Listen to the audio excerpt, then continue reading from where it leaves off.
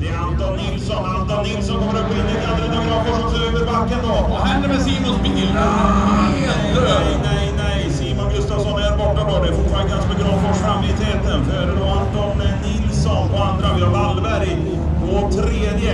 Wallberg är den enda bilen som är inne och tar alternativet och fortfarande Wallberg som halkar ner